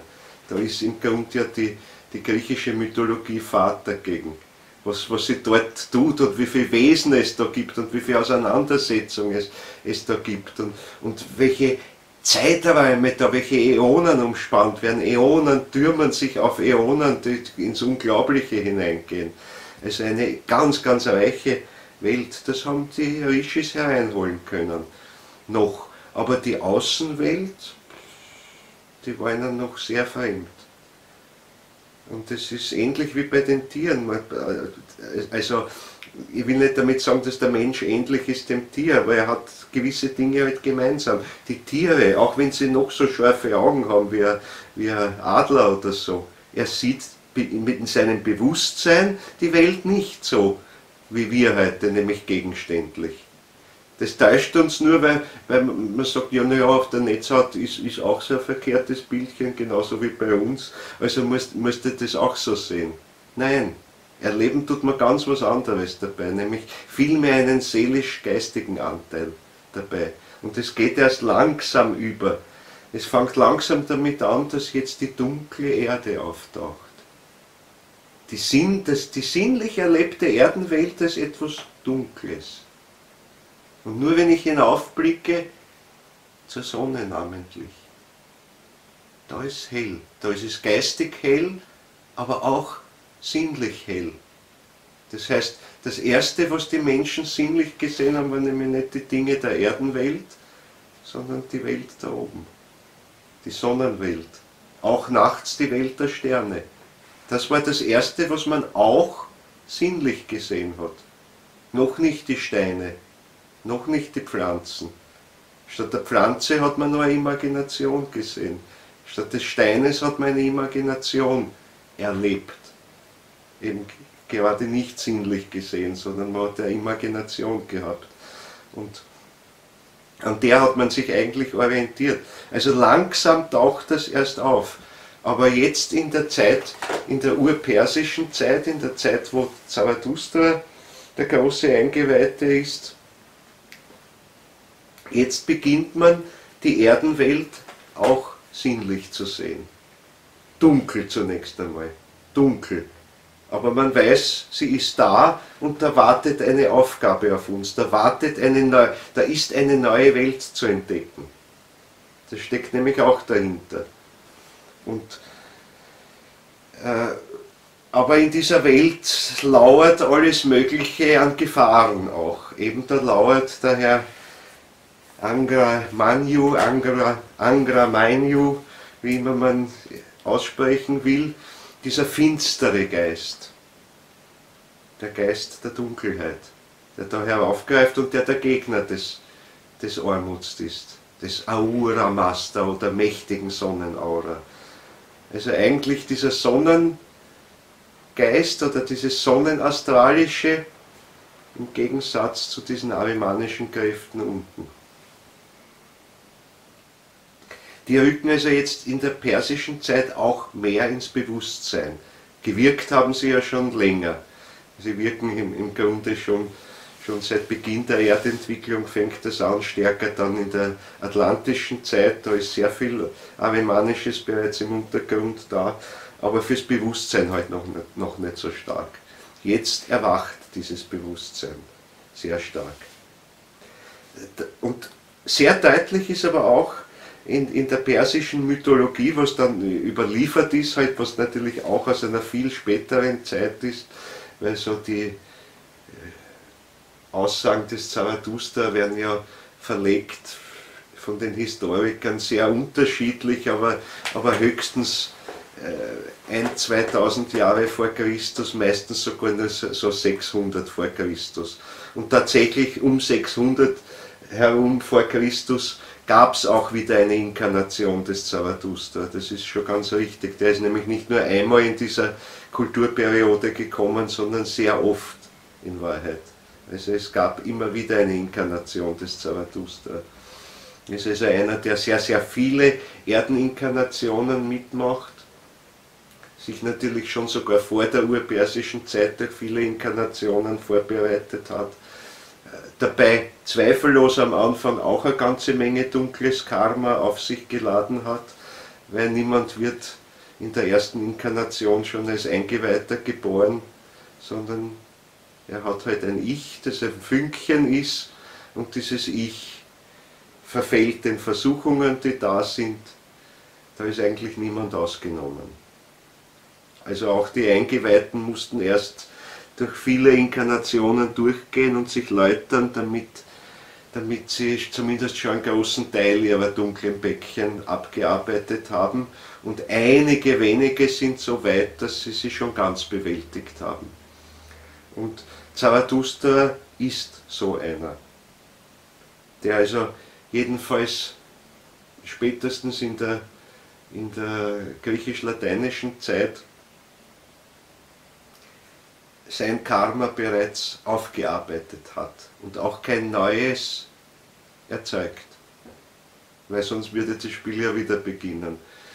Und das heißt aber, dass er eigentlich in, auf einer gleichen Ebene steht wie Buddha, wie der historische Buddha, und für seine Entwicklung sich nicht mehr inkarnieren müsste auf Erden. Er tut es aber trotzdem.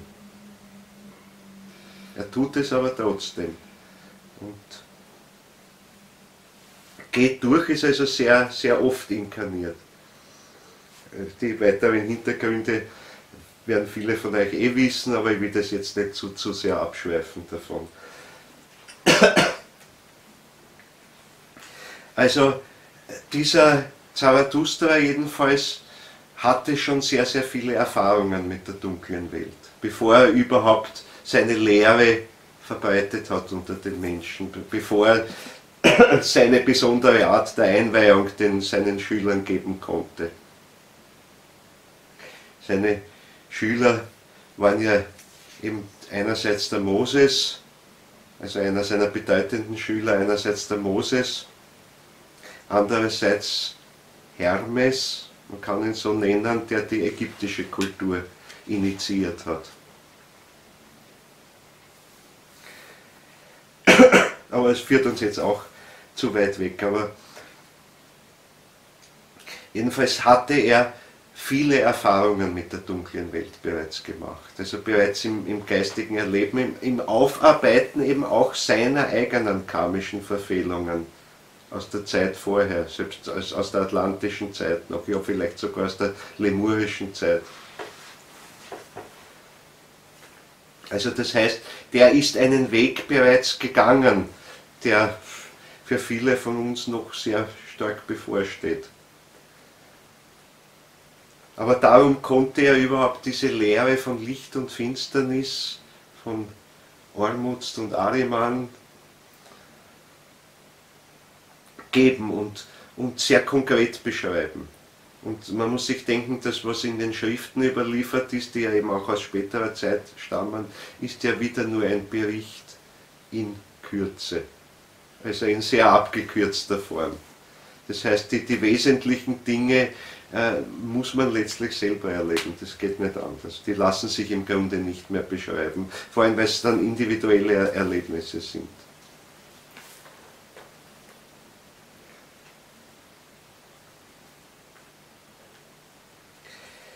Ja, aber schauen wir uns jetzt einmal ein bisschen an, wie denn das beschrieben wird in der Apokalypse, betreffend die zweite Gemeinde, die Gemeinde von Smyrna. Und an den Engel der Gemeinde zu Smyrna schreibe, es spricht zu euch der Erste und der Letzte, der tot war und wieder zum Leben hindurchgedrungen ist. Ich kenne und sehe die Schwere deines Schicksals und deine Verarmung. Trotzdem bist du reich. Ich durchschaue auch die Geistverhöhnung derer, die sich zu Unrecht Juden nennen, die aber in Wirklichkeit die Geistgemeinschaft des Satans sind. Fürchte dich nicht vor den Leiden, die dir bevorstehen.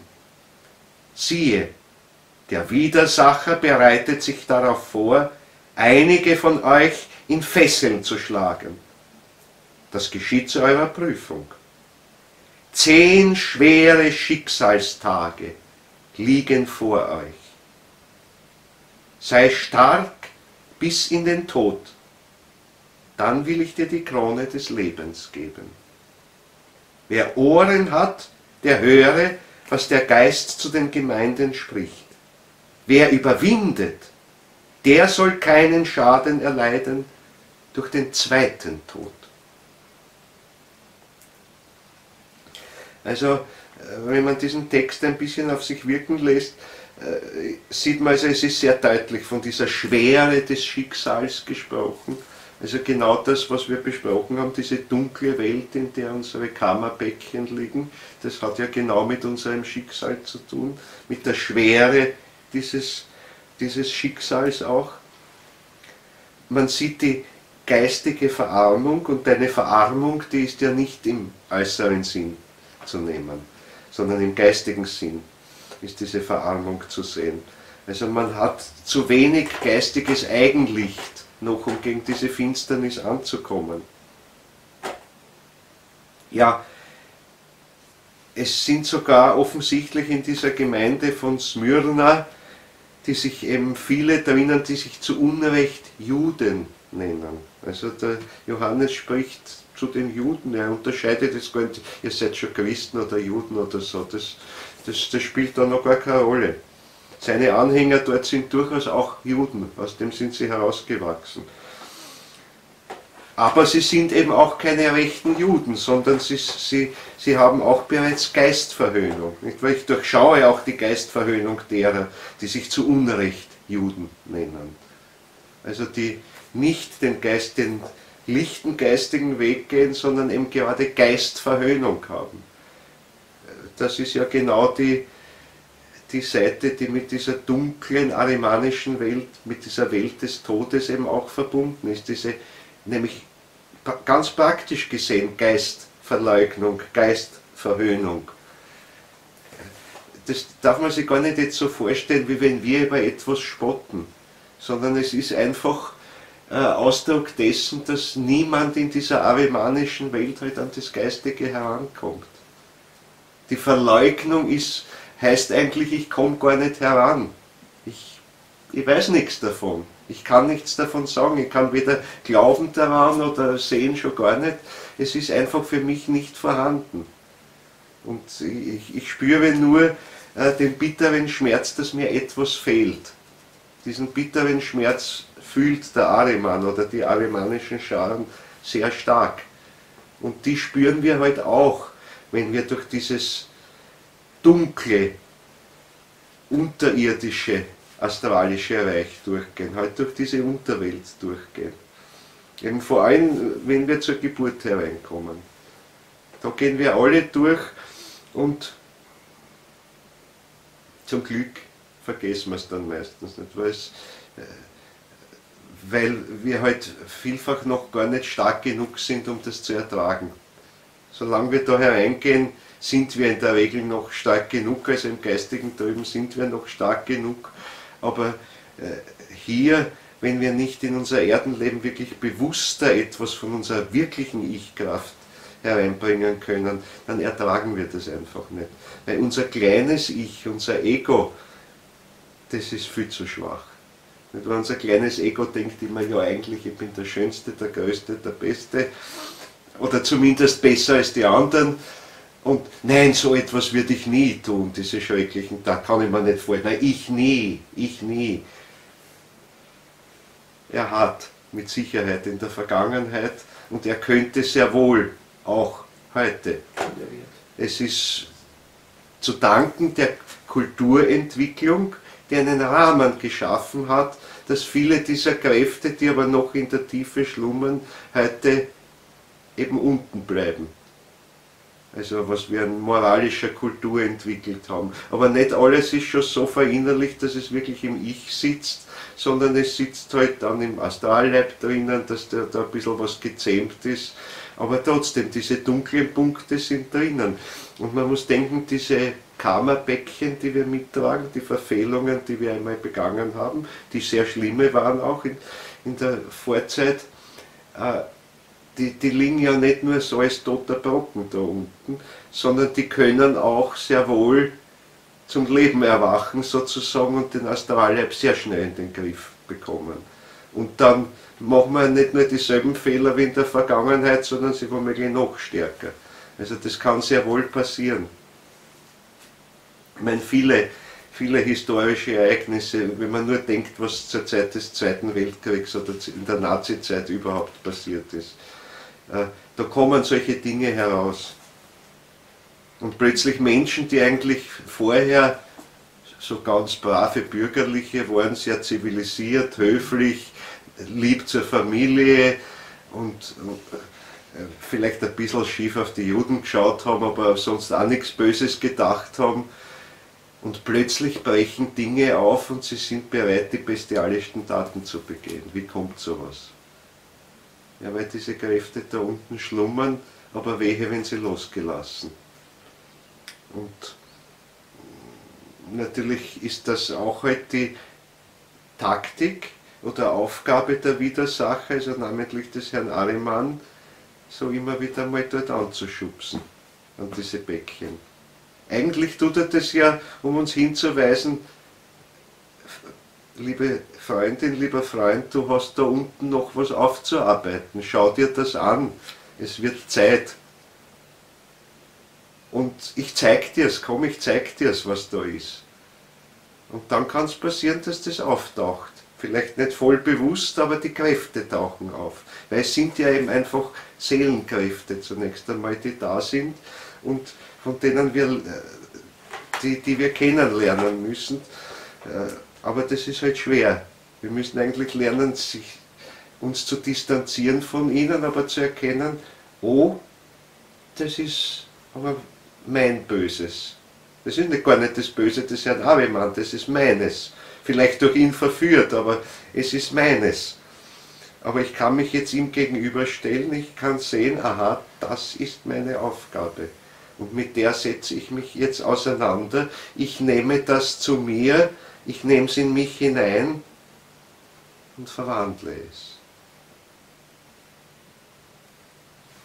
Das ist ja letztlich auch ein Ziel des Manichäismus, jedenfalls des Manichäismus, wie er in der Zukunft sein wird, sich mit dem Bösen zu verbinden und es in sich zu erlösen. Und das betrifft also vor allem eben die eigenen Karmakräfte. Sie wirklich einmal bewusst erleben, das heißt, sie herauszustellen im, im seelisch-geistigen Erlebnis, das muss ich in der Imagination machen, auch in der Inspiration noch, und sie dann wieder hineinnehmen, aber jetzt verwandeln, jetzt auflösen. Das kommt spätestens in der nächsten Kulturepoche auf uns zu. Und die nächste Kulturepoche, also die Steiner oft die slawische Kulturepoche nennt, weil etwas von diesem slawischen Geist darin wirken wird, obwohl es natürlich eine weltweite Kulturepoche sein wird. Ja, welche, welche Zeit spiegelt sich denn da? Die urpersische Zeit. Gerade die, von der wir jetzt sprechen, die spiegelt sich dann. Das heißt, da wird sehr stark dann die Aufgabe sein, diese Päckchen herauszuholen und sie zu bearbeiten, bewusst sie anzusehen. Also da kommt nur einiges auf uns zu.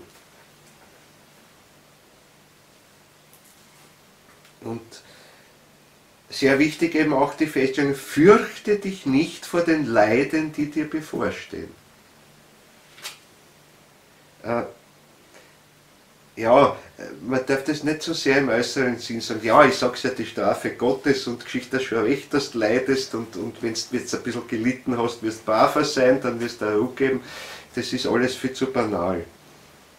Ich meine, wie können wir, es, es geht ja um was anderes, es geht darum, wie können wir diese dunklen Kräfte überhaupt auflösen, wie können wir diese dunklen karmischen Pakete auflösen. Die bestehen aus, aus total verdorbenem Astralischen, so könnte man es nennen. Also wie wenn das schimmelig geworden wäre, oder noch ärger, ganz verdorben.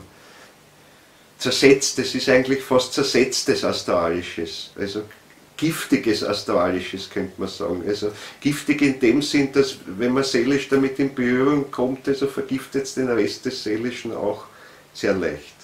Und wir müssen jetzt aber trotzdem lernen, uns dem gegenüberzustellen und nicht nur das, sondern es in uns aufzunehmen. Und was müssen wir dann tun? Wir müssen all dieses Üble, das da drinnen steckt, durchleiden. Ganz bewusst und willentlich durchleiden. Das ist der Prozess der Auflösung. Das heißt, wir müssen das wollen. Äh, das, das klingt jetzt natürlich höchst erschreckend ich weiß, ich bin mir dessen bewusst, aber wir sprechen heute über die Apokalypse, das letzte Buch des Neuen Testamentes. Da geht es zur Sache in Wahrheit. Und noch mehr steht eben zwischen den Zeilen. Und es geht halt eben einfach nicht anders. Wir können dieses, dieses Dunkle nur dadurch auflösen, indem wir all, dieses Dunkle besteht nämlich im Grunde in all dem Leid, das wir erzeugt haben und all das gute Seelische, das wir durch unsere Untaten vernichtet haben. Das steckt da drinnen.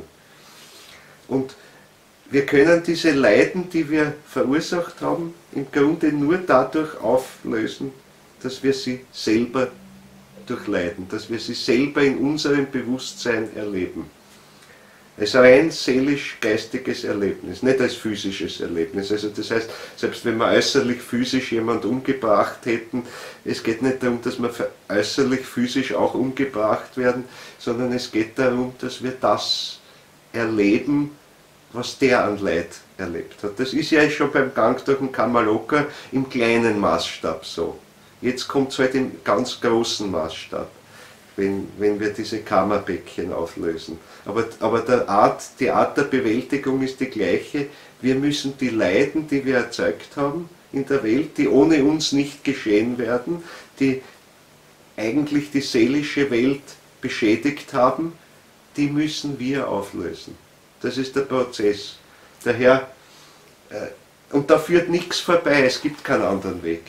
Er besteht in, in dem er, im Grunde die, die Auflösung besteht im Erleben dieser, dieser negativen Kräfte. Und daher steht es, fürchte dich nicht vor den Leiden, die dir, die dir bevorstehen. Aber man braucht auch insofern keine Angst haben, weil man wird erst dorthin geführt oder man geht mit Bewusstsein erst dorthin, wenn man auch die Kraft dazu hat, das zu ertragen. Es passiert vorher nicht. Es ist also, da ist eben die Hilfe des Christus unheimlich wichtig, dass er uns auch bewahrt davor, zu früh an, an diese Dinge heranzukommen. Also es, es erfordert eben einfach eine große geistige Stärke, auf die muss man sich erst vor, vorbereiten durch viele Inkarnationen und es kommt in jeder Inkarnation im Grunde nur das, was man bewältigen kann. Auch trotz alledem, dass die Widersacher gewisse Unordnung ins Karma gebracht haben. Also das kommt auch dazu, aber da ist eben zum Ausgleich der Christus da. Der Christus ist der Herr des Karmas. Ja, ganz klar. Der Christus ist die makrokosmische Ich-Kraft, wenn man so will. Und das heißt, er hängt mit diesem Karma eigentlich unmittelbar zusammen. Und wir haben ja auch der, im letzten Vortrag, als wir bisschen gesprochen haben über die erste Gemeinde in Kleinasien, die der urindischen Zeit entspricht, äh, da sprachen wir davon, dass dort auch schon eine Erwartung des Christus war und dass man ihn damals Vishwa Karman nannte. Den Alltätigen. Vishwa Karman. Im Wort Karman steckt Karma ja drinnen, ganz direkt. Manchmal wird sogar wirklich gesagt Vishwa Karma. Also ob das N dran ist oder nicht, das ist, ist nicht so wichtig. Also das heißt, der Christus äh, hilft uns dabei und überwacht sozusagen, dass wir mit unserem kleinen Ich an die großen Kammerbrocken wirklich erst dann herangehen, wenn wir reif dazu sind. Nicht zu einem Zeitpunkt, wo noch, noch einfach mehr Schaden entstehen würde. Weil es bedeutet ja eben einfach auch, dass wir diese gewaltigen Kräfte wieder aus der Versenkung herausholen müssen. Und dann sind sie frei. Und wenn es uns nämlich, und das ist vielleicht auch eine, eine, eine, gewisse Warnung oder ein gewisser Punkt, wo, äh, wo man vorsichtig sein muss und warum es so gut ist, dass uns der Christus halt auch dabei hilft, weil wenn wir dieses Karma verwandeln wollen, dann kommt, kommen diese negativen Kräfte heraus. Und wenn es uns nicht gelingt, dann sind sie plötzlich an der Oberfläche da. Und dann kann genau das passieren, dass diese ganzen Wüstenkräfte aus der Vergangenheit Besitz ergreifen. Von mir, der es versäumt hat äh, oder nicht geschafft hat, das zu verwandeln und, und daraus folgen dann neue Untaten. Also solche Dinge sind zum Beispiel in der Nazizeit oder auch zur Zeit des Dreißigjährigen Krieges und sonst also, äh, passiert, dass solche Dinge herauskommen.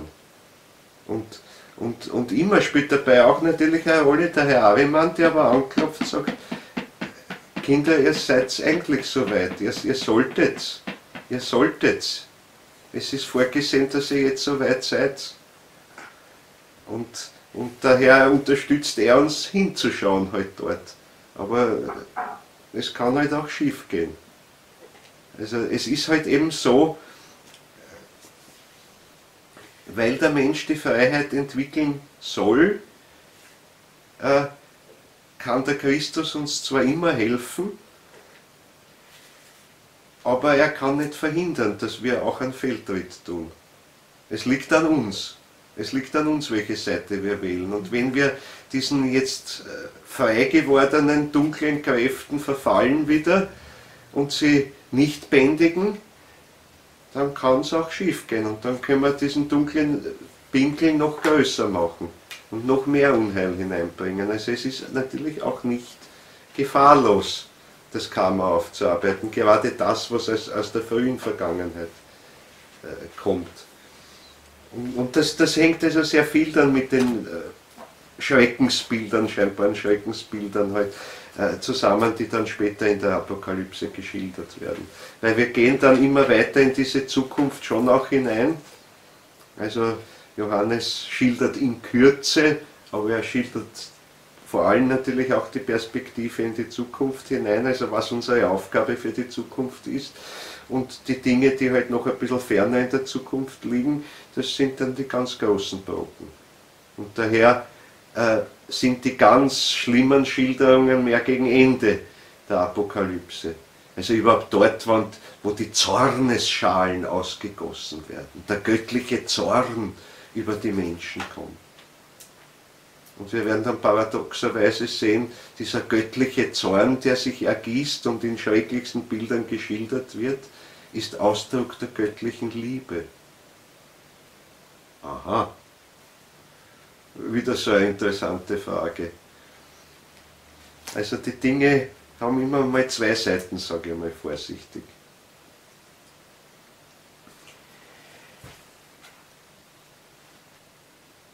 Ja, und wir sollen uns also nicht fürchten vor den Leiden, die bevorstehen. Und siehe, der Widersacher bereitet sich darauf vor, einige von euch in Fesseln zu schlagen. Ja, es ist halt so. Wenn wir dieses Kammerbecken herausholen, dann besteht auch die Gefahr, dass wir aber wieder vom Alemann gepackt werden und, und noch stärker gefesselt werden. Also dann werden wir noch stärker an diese untere Welt gefesselt. Dieses Risiko, durch das müssen wir aber durch. Das ist seine Aufgabe einfach. Das ist nicht sein, seine böse Absicht, sondern das ist seine Aufgabe. Und darum steht ja auch, das geschieht zu eurer Prüfung. So steht es wortwörtlich hier drinnen. Und dann steht noch einmal, zehn schwere Schicksalstage liegen vor euch. Die zehn Tage sind natürlich jetzt auch wieder nicht im äußeren Sinn unserer Kalendertage zu nehmen. Und was die Zehnzahl zu bedeuten hat, da werden wir später noch sehr viel Gelegenheit haben, also in späteren Vorträgen uns damit zu beschäftigen. Will ich noch gar nicht jetzt genauer erklären, aber es sind Schicksalstage wieder. Schicksalstage. Das ist also da sehr gute Übersetzung von Emil Bock, die ich hier verwende. Es heißt, sei stark bis in den Tod also bis in dieses dunkle Reich hinunter, dann will ich dir die Krone des Lebens geben. Dann und nur dann, wenn du dort hinuntergestiegen bist. Dann erst kannst du sozusagen das höhere Leben bekommen. Und auch darüber habe ich das letzte Mal gesprochen. Wir können und müssen aus eigener Kraft unseren Astralleib und damit auch unsere Karma-Päckchen aus eigener Kraft verwandeln, sodass das Karma aufgelöst wird und dass aus dem Astralleib unser Geist selbst wird. Das Geist selbst ist der von uns bewusst verwandelte Astralleib. Also das heißt äh, konkret, wir können dann frei aus unserer Schöpferkraft heraus, aus dem Nichts heraus uns einen Astralleib bilden. Das heißt, die Kraft des Geistes selbst zu besitzen. Während wir jetzt halt angewiesen sind auf, auf die Astralkräfte, die wir vorfinden bei der Verkörperung.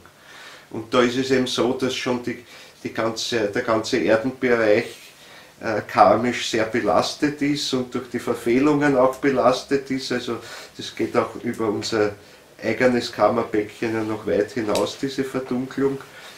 Äh, aber wir müssen unseren Astralleib aus diesen Kräften schöpfen. Wir können auch nicht nur mit den höchsten astralischen Sonnenkräften sozusagen uns umkleiden hier, weil das ist nicht brauchbar für die Erde, zumindest nicht alleine. Weil die Erde ist halt nicht eine Sonnenwelt, sondern eine, eine irdische Welt, eine dunklere Welt.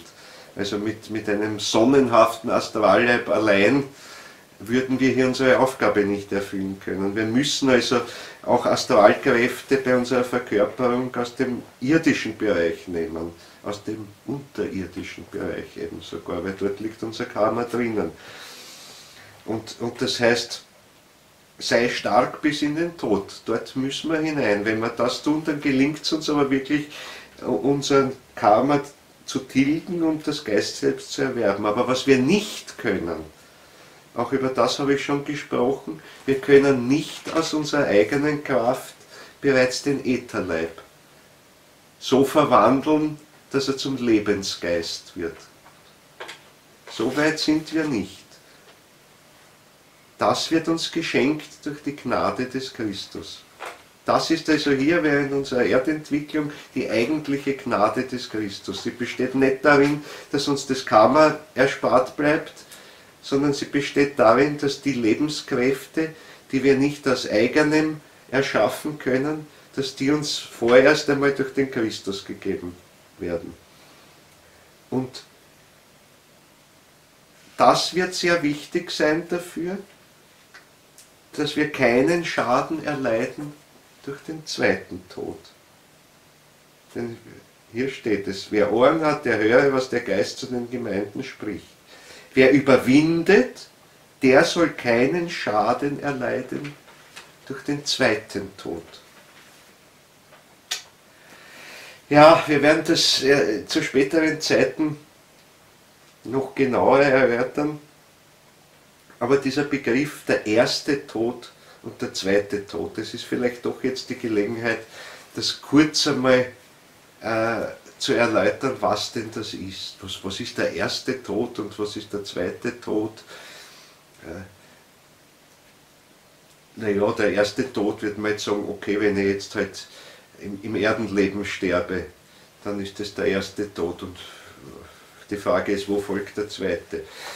Nein, der Tod, den wir hier auf Erden sterben, normalerweise oftmals ja sterben, weil wir durch viele Inkarnationen durchgehen und schon durchgegangen sind, das ist nicht mit dem ersten Tod gemeint.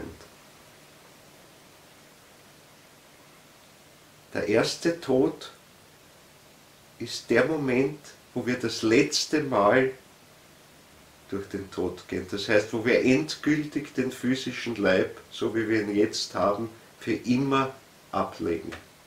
Das heißt, in unserer letzten Inkarnation, wenn wir in unserer letzten irdischen Inkarnation sterben, dann gehen wir durch den ersten Tod. Dann sind wir überhaupt erst vollständig durch den Tod gegangen.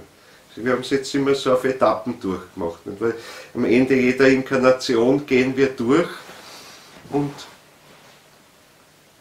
vollendet ist dieses Durchgehen, ja auch dieses Durchgehen dann halt durch das Reich des Todes eben in der letzten Inkarnation. Wenn wir dann sterben, dann müsste unser ganzes Karma aufgelöst sein. Also es wäre sehr bitter, wenn einfach wir nicht genügend gearbeitet haben, daran unser Karma aufzulösen und es aber durch die äußeren Bedingungen nicht mehr möglich ist, zu einer nächsten Inkarnation herabzusteigen. Äh, und das heißt, wir würden dann zwar auch zu so, sowas wie einen ersten Tod gehen, aber mit diesem ersten Tod wäre unsere Erdenaufgabe nicht vollendet. Die Erdenaufgabe zu vollenden heißt, dass wir mit diesem im Grunde letzten irdischen Tod, also der erste Tod ist eigentlich der letzte in den irdischen Inkarnationen, das ist sozusagen die erste Stufe des Todes, die es gibt. Äh, dann müssen wir also unser Karma aufgearbeitet haben und wir müssen fähig sein, unser Ich-Bewusstsein aufrecht zu erhalten, auch ohne physischen Leib.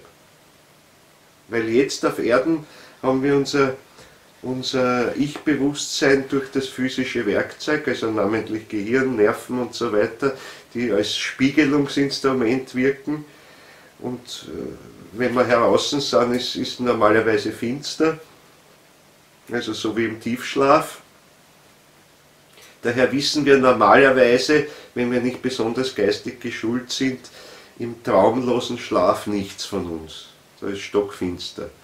Und im Grunde, wenn wir nicht gelernt hätten, äh, bis zu unserer letzten Inkarnation ohne physischen Leib bewusstseinsmäßig auszukommen, dann würde man in die geistige Finsternis fallen. Das wäre natürlich anders, als wir es jetzt im Tiefschlaf erleben, trotzdem anders, aber, aber es ist zumindest vergleichbar damit, dass wir von jedem geistigen Licht dann abgeschnitten werden. Isoliert werden. Selbst wenn wir rundherum die, die beste, schönste geistige Welt wäre, wir wären isoliert davon.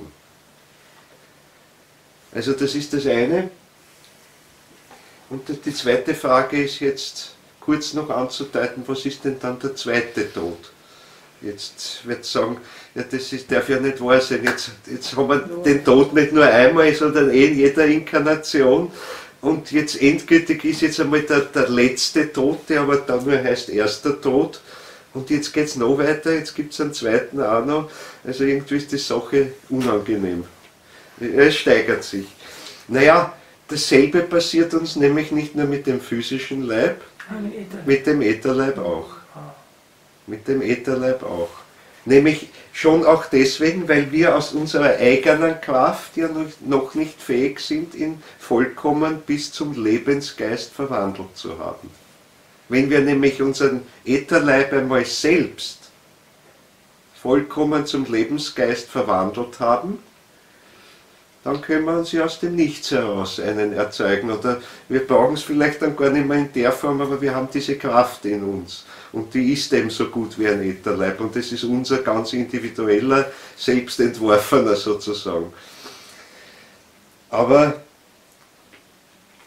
das können wir heute halt noch nicht. Aber dass wir dann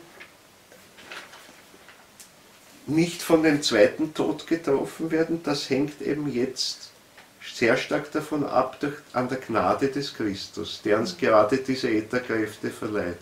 Also das heißt, wenn wir, wenn wir genü genügend gearbeitet haben an uns, dann ist es der Christus, der uns behütet vor dem zweiten Tod. Das heißt, der, der verhindert, dass wir entbehren die Kräfte des Ätherleibs. Der Ätherleib wird sich auflösen. Es wird auch da einen letzten Ätherleib geben, der sich auflöst. Aber die Kräfte, die da drinnen sind, also die geistigen Kräfte, die im Ätherleib wirken, und das sind eben die Kräfte des Lebensgeistes in Wahrheit. Weil der Lebensgeist ist das, was einen Ätherleib erschaffen kann. Also das ist die Quelle. Und diese Kräfte brauchen wir ja eigentlich und die gibt uns der Christus. Und das heißt, er bewahrt uns dann vor dem zweiten Tod. Ja, das ist so ein bisschen die Botschaft der zweiten Gemeinde oder der zweiten Kulturepoche. Es war also jetzt die Gemeinde von Smyrna, über die wir gesprochen haben. Es wird wohl dort also Mysterien gegeben haben, die sich mit diesen Themen beschäftigt haben. Ich kenne von Rudolf Steiner jetzt keine direkte Angabe über diese Mysterienstätten dort. Ich müsste schauen, ob es historisch was gibt dazu, aber es war dann sicher im Geiste dieser urpersischen Kulturepoche, wo Licht und Finsternis einander gegenübersteht.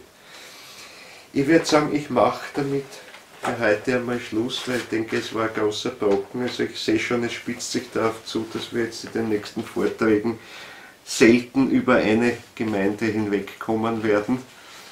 Also es stehen uns jetzt noch fünf bevor. Zwei haben wir gemacht, fünf stehen uns bevor. Vielleicht schaffen wir ja mal auch zwei Gemeinden an einem Abend.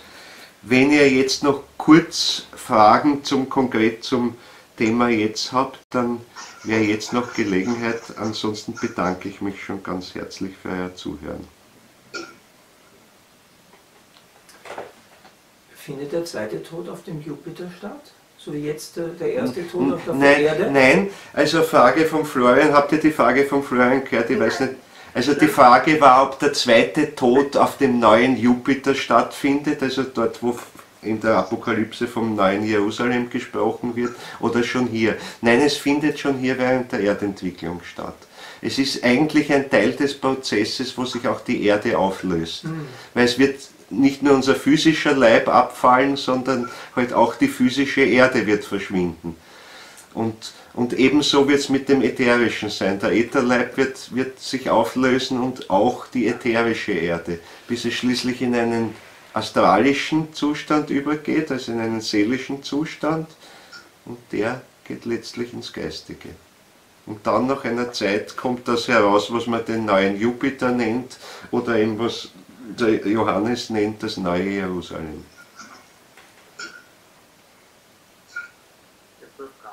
Bitte. Und zwar, ähm, es tut mir leid, wenn ich das ein bisschen leidhaft klingt, aber ähm, in unserer Vorstellung von ja. Fairness hat eigentlich das ganze System auch nicht unbedingt etwas zu tun, oder?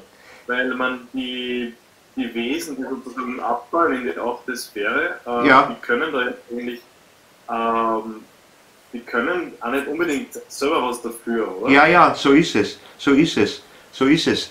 Und, und, und der Punkt ist nur, dass also sehr viel von dem, äh, wie es diesen Widersachern geht, weil man muss denken, sie sind eigentlich, wie Steiner halt immer so schön sagt, abkommandiert zu ihrer Aufgabe, also sie haben eigentlich keine Schuld, dass sie diese Aufgabe übernommen haben, sondern sie haben sie im Dienste der Weltentwicklung übernommen. Und bestehen aber, es besteht aber jetzt die Gefahr, dass die völlig auf die Abwege kommen, weil aus eigener Kraft kommen sie dort nicht mehr heraus. Und auch nicht durch die Kraft der göttlichen Welt, das ist das Problem, sondern nur durch uns. Wir sind das entscheidende Glied, auch das entscheidet darüber, was wird aus dieser Welt der Widersacher. Also im Idealfall gelingt es uns, diese, namentlich diese Welt des Todes aufzulösen. Und das ist dann auch die Erlösung Arimans. Dann findet er wieder den Anschluss an die normalen, unter Anführungszeichen, höheren Hierarchien und, und dann wird er endlich sehen, sozusagen, dass er den Menschen nicht fürchten muss, sondern, sondern dass er etwas gewonnen hat dadurch, weil er, er gewinnt ja auch etwas auf dem Weg. Wer bringt ja ganz einzigartige Erfahrungen dort allen mit, dadurch, dass er diese finstere Welt, diese dunkle Welt äh, aufgebaut hat und die Herrschaft darüber übernommen hat. Das sind Erfahrungen, die, die, die ja vorher auch kein geistiges Wesen machen konnte. Nicht wahr? Der Ariman ist, ist der, der die meiste Erfahrung einmal in dem Reich hat und da sind Dinge drinnen, die auch sehr wertvoll sind. Und wahrscheinlich für einen späteren Schöpfungsschritt also sehr wichtig sein werden auch. Oder werden können, wenn nicht wir versäumen, ihn zu erlösen. Und wir erlösen ihn eigentlich dadurch, dass wir diese ganzen dunklen Flecken, die wir da, oder diese ganzen dunklen Bäckchen, die wir haben, dass wenn wir versäumen, die aufzulösen, dann passiert es wirklich, dass Ariman mit seiner Welt und im, und im Extremfall eben auch ein, einige Menschen dort mitgehen werden. Und dann entsteht es eine ganz andere Entwicklungsströmung, die aus der, aus der Hauptströmung komplett herausfällt die aber eigentlich keine wirkliche Zukunft hat, weil ihr das, der, der schöpferische Impuls fehlt.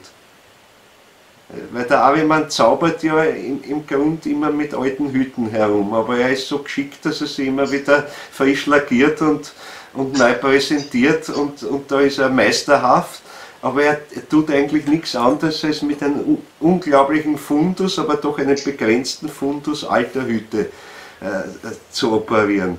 Und das erschöpft sie irgendwann. Also da, da liegt keine wirkliche Zukunft drinnen. Ja, es ist Hütchenspiel, genau. Der Florian macht ganz Hütchenspiel. ich hätte auch noch eine Frage. Bitte. Hallo? Ja, ja, ja ich höre. Äh, und zwar folgendes. Also wir, wir haben uns da beschäftigt mal mit den Erdschichten auch in Zweig. Ja, ja. Und jetzt also quasi die letzte Schichte, ja. Ja. Das ist sozusagen der Erdkern. Ja. Und da ist das absolut böse. Ja. Also ja. mit der schwarzen Magie ja. zu tun hat. Ja. Und was, also Ariman ist doch nur das Werkzeug des Sonnendämons. Ja, ja. Also wie, ich, ich kann das irgendwie nicht verstehen. Da gibt es ja noch etwas, eine Steigerung. Es gibt noch eine Steigerung. Es ist auch so, also bei Rudolf Steiner, dass er manchmal eben auch diese noch stärkeren, äh, noch böseren sozusagen Kräfte eben auch zu den arimanischen zählt. Aber man muss es eben unterscheiden von den eigentlichen arimanischen und, und diesen tieferen Kräften. Aber nämlich ganz bewusst auch, weil ihr, ihr, ihr wisst ja, es gibt diese Statue des Menschheitsrepräsentanten, also die Christusstatue im Grunde der Menschheitsrepräsentant zwischen Luzifer und Ariman. Und da ist von noch anderen Kräften nicht die Rede. Äh, und das liegt aber darin, dass sozusagen in den arimanischen Bereich ist alles, was da noch tiefer und noch dunkler wird, was also wirklich mit den Erdentiefen zu tun hat und äh, im Extremfall dann wirklich mit dem Erdmittelpunkt zu tun hat, äh, ist da inbegriffen drinnen. Das ist also sozusagen der große Ariman-Begriff. Der große Ariman-Begriff ist, das ist die ganze finstere Welt hinunter bis zum Erdmittelpunkt. Und dann kann man es aber differenzieren. Ja, da sind ja noch die sogenannten Asuras und der Sonnendämon und, und so weiter. Äh, und das, das ist vielleicht das äh, abschließend zu der Frage dazu. Man kann nämlich sehr deutlich sagen, von der, ja, sagen wir, von der Erdoberfläche hinauf erhebt sich das obere geistige Reich. Also durch die ganzen Planetensphären durch, also sieben Planetensphären, dann durch den Tierkreis hindurch, dann sogar noch der Kristallhimmel gibt es, das, das ist dann die neunte Sphäre, also sieben Planetensphären, Tierkreis, also die Sternenwelt, und dann der Kristallhimmel, die neunte Sphäre. Also neun Sphären, die, denen entsprechen die neun Engelhierarchien, die neun Stufen von Engeln. Und dann geht es ja, in einen Bereich, für den es kein Äquivalent mehr im Äußeren gibt. Das ist der eigentlich göttliche Bereich. Beim Dante und, und im Mittelalter überhaupt nannte man das, das das Empyreum, das geistige Feuer, das ist natürlich vollkommen raum- und zeitlos. Dort ist erst das höchste Geistige oder dort ist die eigentliche Realität des Geistigen. Der Dante hat was gewusst davon, weil er sagt ganz deutlich, wir kennen das ja, also den Planetensphären sind die verschiedenen Engelhierarchien zugeordnet. Also Mondensphäre die Engel, dann kommt die Merkursphäre mit den Erzengeln und so geht es immer weiter. Das entspricht gerade den, diesen neuen Sphären, von denen wir gesprochen haben. Und jetzt sagt der Dante sehr wichtig, ja, aber in Wahrheit sind die ja gar nicht dort in den Sphären, das sind nur ihre Abbilder. In Wirklichkeit sind die dort in dem Empyreum, dort sind sie erst in Wirklichkeit. Also jenseits der neunten Sphäre. Dort, wo wir aus Raum und Zeit völlig hinausgehen, in die Welt der Ewigkeit. Und jetzt ist das Interessante. Diese Welt der Ewigkeit, oder überhaupt, na fangen wir so an, die, diese neuen Sphären einmal, die spiegeln sich in den neuen unterirdischen Sphären in der Erde. Und das, was jenseits ist, das Empyreum, das, was draußen, überall und nirgends ist, das hat seine Widerspiegelung im Erdmittelpunkt. Also man könnte sagen, der unendliche Umkreis spiegelt sich im Erdmittelpunkt und umgekehrt. Also so, so hängen die Dinge zusammen irgendwo. Und äh, noch etwas, und diese Kräfte ja. in jedem Menschen, diese, diese absolut Bösen? Diese Kräfte leben in jedem Menschen. Äh, der, der, der, Rudolf Steiner sagt also, ich weiß jetzt nicht wo, das in irgendwelchen späteren Vortragszyklen, äh, es gibt im Menschen einen Zerstörungsherd. Und dieser Zerstörungsherd, der hängt aber zusammen mit dem Erdmittelpunkt. Also eigentlich alle Menschen auf allen Kontinenten und in allen Ländern vereinigen in gewisser Weise ihren, ihren Zerstörungsherd da in diesem Erdmittelpunkt der ist, ist letztlich äh, sehr wichtig und notwendig, auch um, um, mal die ganze Welt ins Nichts aufzulösen. Also das ist auch der Schritt zum Beispiel, wenn, wenn man trotzdem durch diesen Punkt richtig durchgeht, wo mal die ganze äußere Schöpfung verschwinden wird. Als Voraussetzung dafür, dass sie vollkommen in einen geistigen Zustand übergeht. Und äh, dabei haben eben gerade diese Widersacherkräfte, auch die höchsten, also die stärksten sozusagen, sagen wir besser die tiefsten Widersacherkräfte, eine große Aufgabe, an dem mitzuwirken. Ich meine, der Ariman ist neben vielen Aufgaben, die er hat, auch beteiligt daran, die Erde irgendwann zu zerstören. Und sie muss aber zerstört werden, so wie unser physischer Leib zerstört werden muss, um sterben zu können. So muss irgendwann einmal die Erde auch sterben. Es ist immer nur eine Frage des richtigen oder falschen Zeitpunktes. Ich meine, Im Moment drängt uns der Avemann halt sehr viel, dass das zu früh passiert. Und dem müssen wir entgegentreten. Also das heißt, eine der Aufgaben Ariman zu erlösen und daher die Erde zu retten, davor zu früh zu zerfallen, besteht eben darin, dass wir wissen müssen, dass wir heute etwas für die Natur zum Beispiel tun müssen. Dass die Natur nicht mehr so weit ist, dass sie aus sich selbst heraus überleben könnte auf Dauer.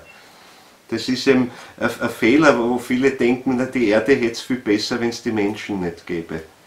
Wenn es die Menschen nicht gäbe, dann würde die Natur sehr viel schneller zu. Derjenige, der da die Küchengeräusche macht, die das Mikrofon abstellen lassen. Dauernd hört man Essen und Geschirr und Küchengeräusche. Kann man dann nicht das Mikrofon abdrehen? Das wäre doch höflicher, Ihnen gegen, euch gegenüber. Ja, ich glaube, es ist eh schon, es sind fast alle abgedreht. Haben schon alle gegessen? Ja, ich glaube, es ist schon weg. Passt schon, ja. Ja, das war die Mahnung, es ist Essenszeit oder so. Ja, Kann man das Mikrofon ausschalten? Ja. Okay. Passt, gut. ja, ja, passt. Äh, ist noch eine Frage dazu oder? Nein, nicht wirklich jetzt. Nee, ja, im Moment. genau. Ich würde sagen, lassen wir es einmal setzen, rasten. Bitte? Oder nachher? Nachher. Wir können nachher. Ja, wir können nachher reden. Florian fragt, ob wir nachher reden können, ja. Aber ich würde sagen, für uns machen wir ein Ende. Ich danke euch, dass ihr so, so spannend, so, so interessiert dabei seid und die Stange haltet, weil es ist, ist ja schwierig, bitte, so, so eine lange Zeit, stellen wir vor, da am Bildschirm zu hängen oder, oder über die elektronischen Wellen miteinander zu kommunizieren. Äh, Aber trotzdem habe ich das Gefühl, es geht irgendwie. Alte Hindernisse, also wir trotzen ein bisschen dem Alemann. Ich danke euch, dass wir gemeinsam trotzen. Auch Dankeschön. Danke. Danke. Danke. Vielen, vielen Dank. Dankeschön. Danke. Pass auf, Papa. Tschüss. Tschüss. Bonsoir. Ciao, danke. Ciao. Ciao. Wiedersehen. Gut. Gute Ebenfalls. Nacht. Ciao. Gute Nacht. Tschüss. Baba, tschüss. Ihr Lieben. Papa, ich leg auf. Passt. Gut.